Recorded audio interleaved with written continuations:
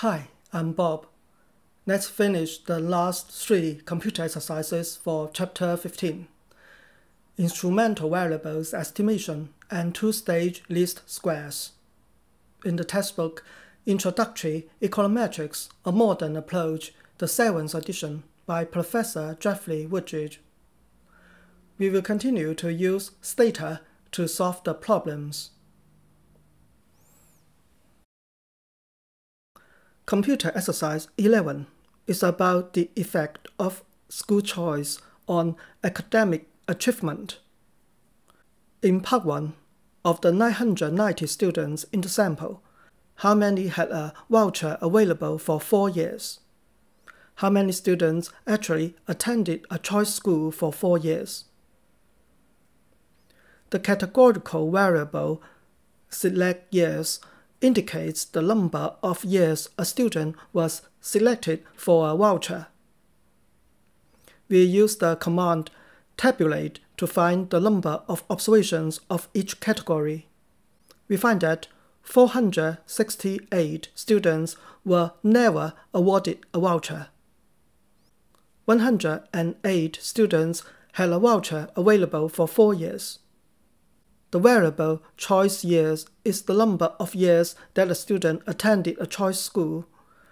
We again use the tabulate command to find that 56 students attended a choice school for four years. In part 2, run a simple regression of choice years on select years. Are these variables related in the direction you expected? How strong is the relationship? Is select years a sensible IV candidate for choice years? We estimate the simple regression by OLS. The slope estimate is 0.77.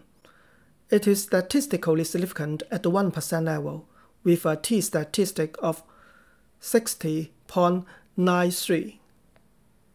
The two variables are highly correlated. The selected years of the voucher variable is an instrumental variable candidate for the years of attending the choice schools because the instrument relevance requirement is satisfied. On the other hand, vouchers were chosen by lottery among those who applied, so the number of years a student was selected for a voucher is random among those who applied. The instrument exogeneity requirement will likely to be met if the application is also random.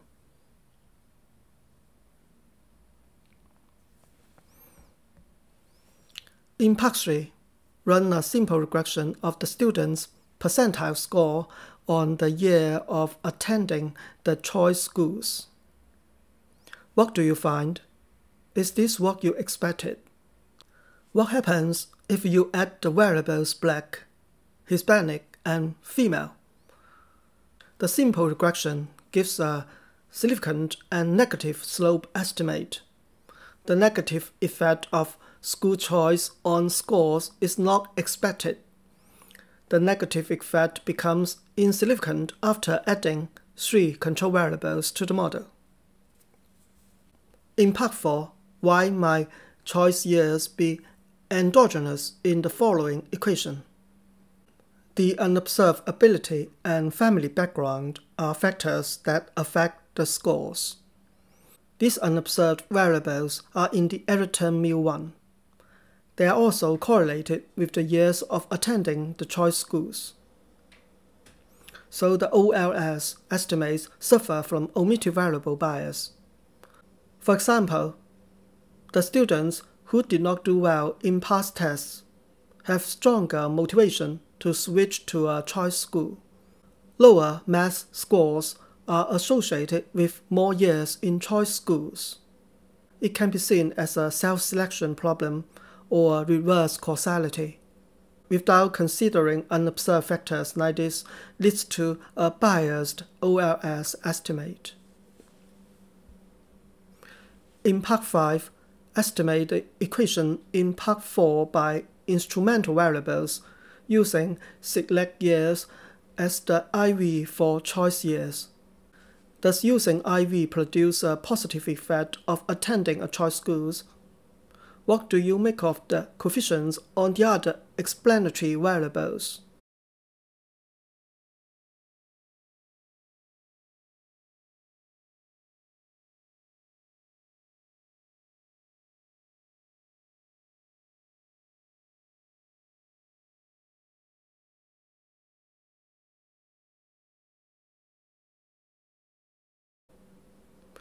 Using IV does not produce a positive effect of attending a choice school on academic performance.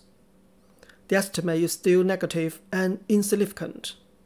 It implies that school choice has no positive effect on academic performance.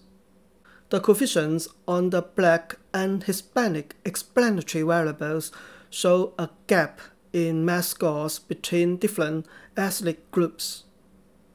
The coefficient on female shows that the academic gender gap is not statistically significant.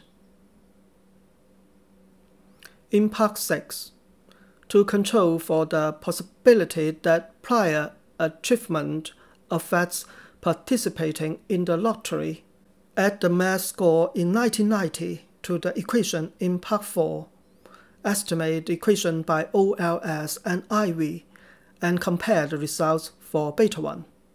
For the IV estimate, how much is each year in a choice school worth on the math percentile score? Is this a practically large effect? After adding the pass math score to the model to control for the student's ability, the effect of choice school on academic performance becomes positive. We store the results from OLS and IV estimations and compare them in a table. The OLS estimate is 0.4 and insignificant. The two-stage least squares estimate is 1.8 and statistically different from zero at the 5% level. It implies that one more year in the choice school increases the math percentile score by 1.8 points. It is a practically large effect. From this exercise, we learned that because the application to choice schools is not random, the IV years of choice schools selected is not random too. We assume that the choice school application is related to the student's past math performance. So we should control the past math score in the model. After controlling for it, the years of the choice school selected are not correlated with the added term and becomes a valid instrumental variable for the actual years of attendance to the choice school. As a result, the two-stage least squares estimate is a consistent estimate of the choice of schools' effect on the academic performance. In Part 7, we will answer why the analysis from Part 6 is not entirely convincing. Compared with Part 5, what happens to the number of observations and why?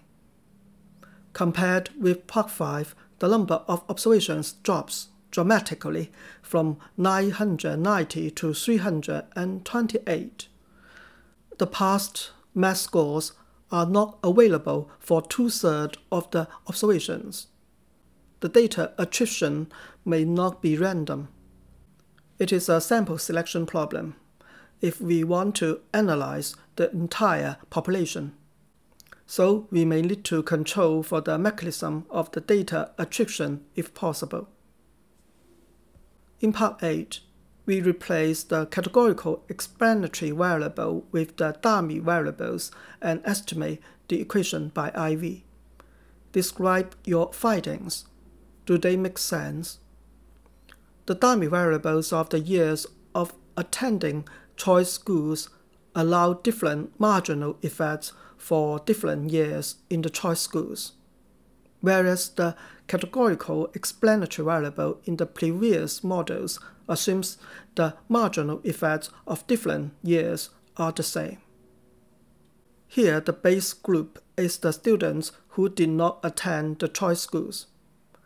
The IV estimates show that only the students who attended the choice schools for four years have a significant difference in their math scores from the base group. They have 14 points higher scores than the comparable students who did not go to choice schools. It makes sense that the choice school effect is not linear. Thank you for watching this video and subscribing to my YouTube channel. See you next time.